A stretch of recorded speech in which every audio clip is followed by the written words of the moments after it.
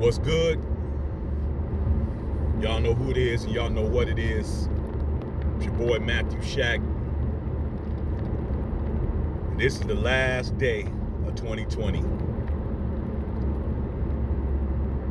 This is the last day. This year has been some shit. It's been the hardest year probably in your lifetime. And uh,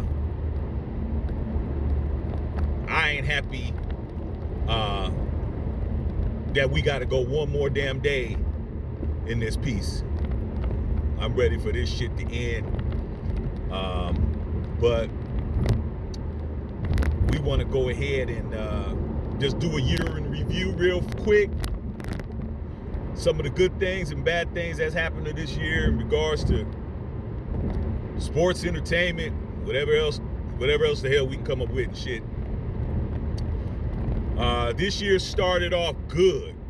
Let's understand, man. January 2020 at the beginning, going in from 2019, we were COVID free. We didn't have no issues. And uh, I went to Europe.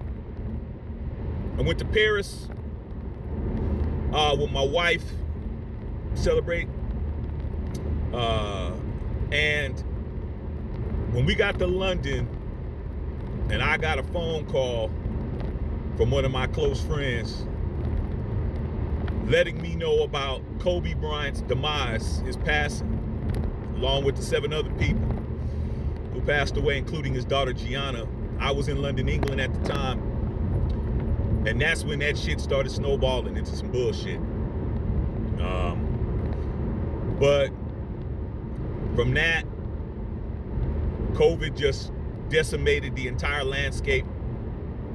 Um, basketball itself, the NBA, uh, went in the morning as it should have. Kobe Bean Bryant, uh, and it just stopped everything. Season stopped for about two months or so.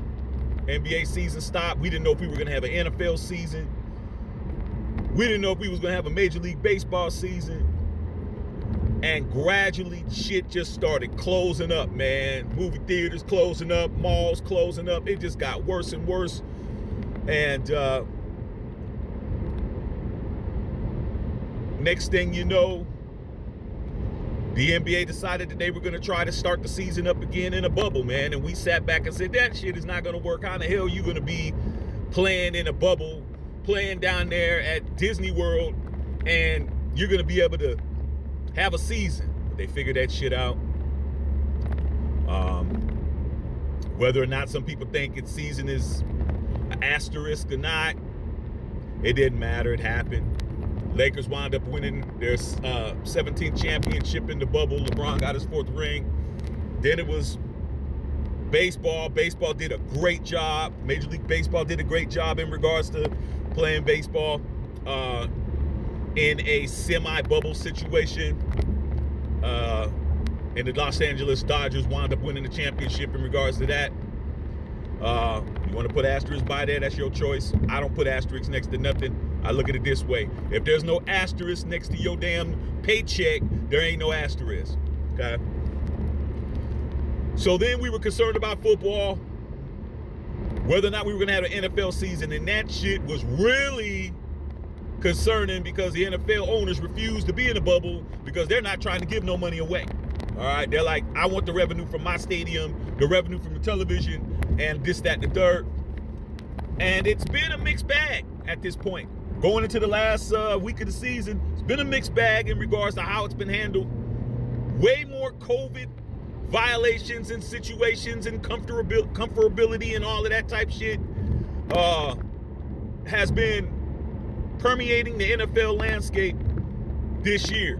I'd say by by far the NFL has done the least uh, effective job when it comes when it came down to the COVID protocols and keeping players safe and trying to keep things happening. Um, but then again, it's a bigger league. Then we've had all the notable people that have passed away this year. It just goes on and on and on. It's just too many names to name. Uh, icons in entertainment, icons in sports, icons in politics, icons, um, you know, in in families. There's been icons that have left us, uh, not just because of COVID, but just other ailments and other situations that have transpired this year. We're going into 2021 with residue of 2020. We do need a new year to come up in here, but we still need to understand we're still dragging 2020 up in this piece. So let's do this as much as you can. Try to look at 2021 objectively like I'm going to do it. I'm going to try to look at it more objectively than I probably should. Because if you look around, Masks are still on everybody. We still got all these scary situations, but we'll persevere. We've persevered this long. We'll continue to persevere. I just wanted to come in, tell all of you guys, um, be safe, be careful out there. God bless everybody out there.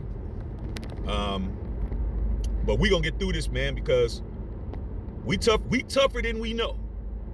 Understand that. We tougher than we know, and we're going to continue to be here. This isn't the end of humanity. This is just a change in humanity. All right, love all y'all out there, man. Please continue to share, subscribe, and like our videos. Salute.